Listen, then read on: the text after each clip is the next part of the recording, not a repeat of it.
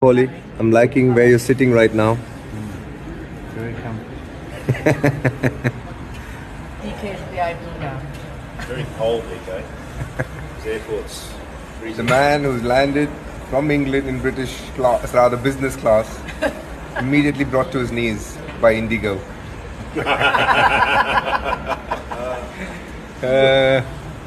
Sure, he Hey, the joy of travel. Joy you of travel.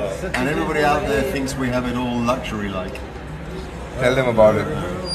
See Matthew Hayden here, the legends of the game, and Shaun Pollock sat waiting to board. Hi Haydos, what's your take on having a delayed flight?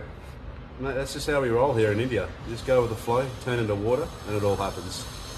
Mark, welcome to India. Just landed in today.